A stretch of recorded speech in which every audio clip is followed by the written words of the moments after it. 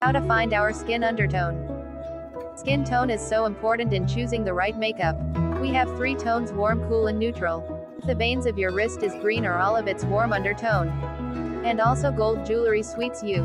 The veins of your wrist is blue or purple, it's cool undertone. And also silver jewelry sweets you. The veins of your wrist is blue or purple and green or olive, it's neutral tone. And also both gold and silver jewelry sweets you. Thanks for watching.